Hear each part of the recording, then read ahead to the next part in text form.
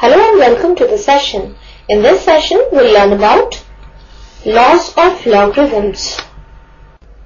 Now let a be a positive number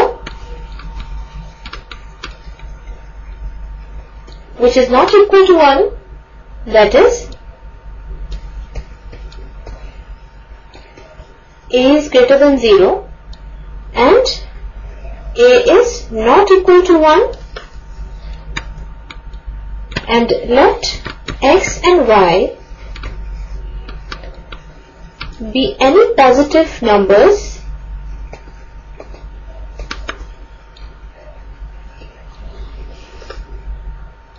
that is x is greater than 0 and y is greater than 0 and n be a real number that is n belong to the set of real numbers. Then the first law of logarithm is log xy to the base a is equal to log x to the base a plus log y to the base a. Now let us start with its proof. Now let log to the base a is equal to m. Now let us give it equation number 1 and log y to the base a is equal to n. Let this be equation number 2. Now we know the definition of logarithm that is if three numbers are so related that a raised to power x is equal to m, then in the logarithmic form we can write log m to the base a is equal to x. And here a, x and n are all positive numbers. So from the first equation, by definition, we have x is equal to a raised to power n and from the second equation, we have y is equal to a raised to power n. This implies x into y is equal to a raised to power m into a raised to power n which is equal to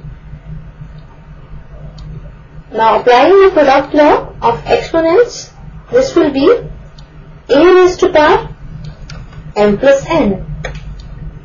This implies xy is equal to a raised to power m plus n. Now again by definition of logarithm we have log xy to the base a is equal to m plus n. Now m is equal to log x to the base a. So this implies log xy to the base a is equal to log x to the base a plus n which is log y to the base a. So we have proved the first law of logarithm. Now let us discuss the extension of this law that is log x, y, z and so on whole to the base a is equal to log x to the base a plus log y to the base a plus log z to the base a plus so on. So we have proved the first law of logarithm that is log of a product to any base is equal to sums of logs of the factors to the same base. Now let us discuss the second law of logarithm that is log x over y to the base a is equal to log x to the base a minus log y to the base a. Now let us start with its proof. For this also, let us take m is equal to log x to the base a and n is equal to log y to the base a. So by definition we have x is equal to a raised to power n and y is equal to a raised to power n So now we have x is equal to a raised to power n and y is equal to a raised to power n. Therefore, x over y is equal to a raised to power m over a raised to power n. Now, applying the quotient law, in case of the exponents, this will be equal to a raised to power m minus n. So this implies x over y is equal to a raised to power m minus n. Now again, by the definition of logarithm, we have log x over y to the base a is equal to m minus n. Now these are the values of m and n. So this implies log x over y to the base a is equal to m that is log x to the base a minus n that is log y to the base a. So we have proved the second law of logarithm which is log of a fraction to the base a is equal to log of the numerator of that fraction to the base a minus log of the denominator of the fraction that is of this fraction to the base a. Now let us discuss one corollary and that is log x1 into x2 into x3 and so on whole upon y1 into y2 into y3 and so on. This whole to the base a is equal to log x1 to the base a plus log x2 to the base a plus log x3 to the base a plus so on the whole minus log y1 to the base a plus log y2 to the base a plus log y3 to the base a plus so on the whole where a, x1, x2 and x3, y1, y2 and y3 and so on are all positive numbers.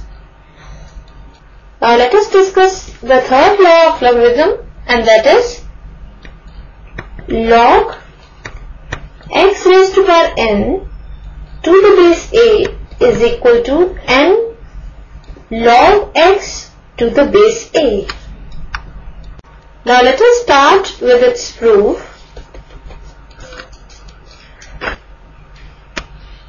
Now let log x to the base a is equal to m. Let this be equation number a. So by definition of logarithm we have x is equal to a raised to power m. Now raising both sides to the power n, this implies x raised to power n is equal to a raised to power m whole raised to power n, which further implies x raised to power n is equal to a raised to power m into n. Now again by the definition of logarithm,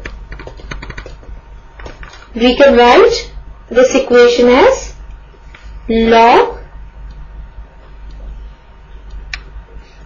x raised to the power n to the base a is equal to m into n.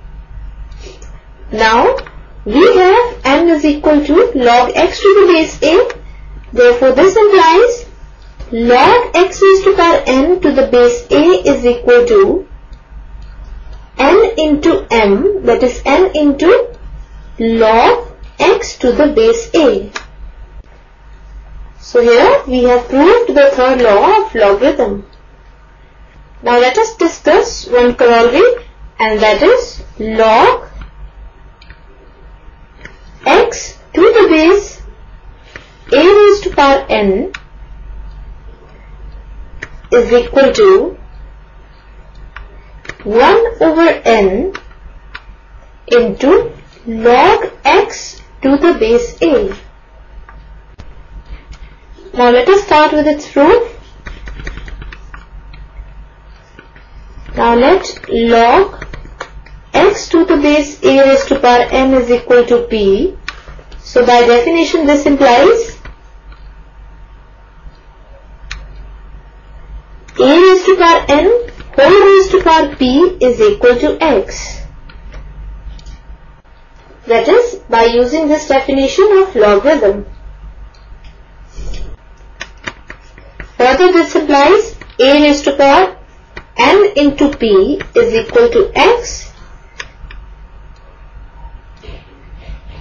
which further implies now here again by using the definition of logarithm this will be log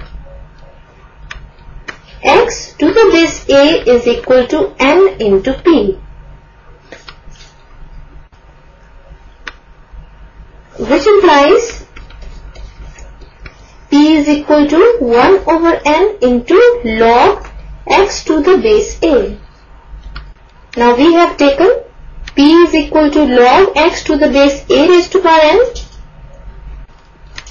So this implies log x to the base a raised to power n is equal to 1 by n into log x to the base a.